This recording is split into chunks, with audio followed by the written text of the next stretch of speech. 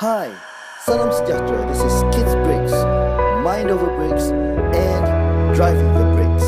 Hello guys, this is John and we've got a really cool build today. This is LEGO Set 75051 Jedi Scout Fighter with 490 pieces. This fighter can be found in the Yoda Chronicle series and even though I haven't watched it, I can attest it's really cool. So the main character of this set is this guy, Jek-14. He seems to look like a stormtrooper but with significant differences. And I really like his blue semi-transparent left hand. Other nice details include subtle line thicknesses. Second in line is this Ithorian Jedi Master, and no other information is provided. The next two characters are droids, and this one looks pretty much beaten up. And finally, this astromech droid is pretty much R2-D2 dipped in blue color. Now, the bulk of the set, I opine that this scout fighter has an interesting shape. It does have this eagle or hawk-like look, but with interesting features. Let's have a look.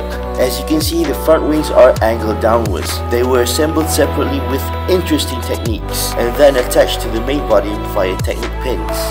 To get the rear wings or ailerons opened up like it is, I've put it on clear brakes, which does not come with the set, unfortunately. And then we have the red turret, which really is a solid build. It's properly ratcheted and it doesn't dangle around. Let's have a listen.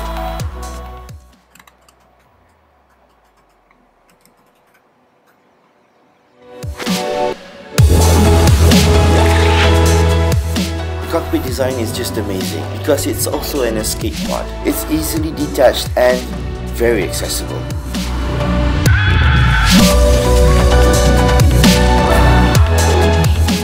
Coming back to the turret, it actually turns 360 degrees to the left or to the right, whichever direction you choose. It does only pitch upwards, but I'm not complaining. The other thing that I noticed is that the turret is positioned slightly higher than the droid's head so that shooting forward is actually feasible. Surprise surprise, we do have a compartment below the turret. And what do we have here? It's a proper storage crate.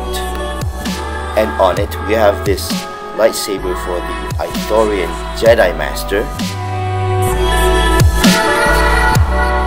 And on the opposite side we have the lightsaber for Jack 14. Note that he's got a white hilt.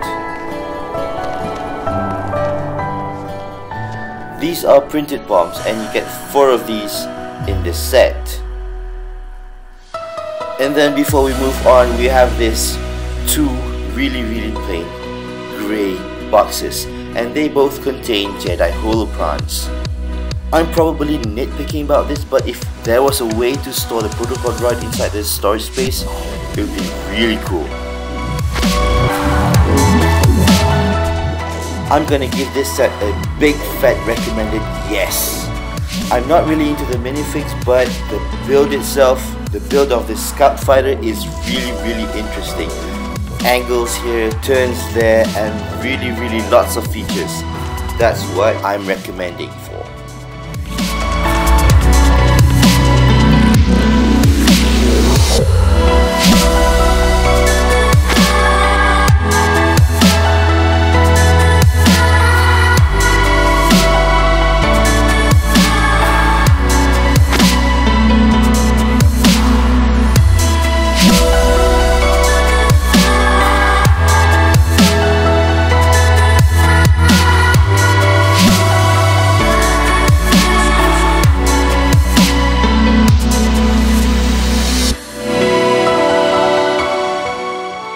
So guys, what do you think of my opinions and this video?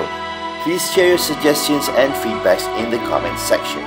We'd be happy to improve ourselves and keep you guys, the viewers, entertained. If you have any queries about us, this set, other toys, or you have a different suggestion not related to this video, hit us up on kidzbricks at gmail.com or you can visit our Facebook page to see our progress. You can find the link below. If you like this video and you like what we're doing, hit the like and subscribe button. Until then, I'll see you soon.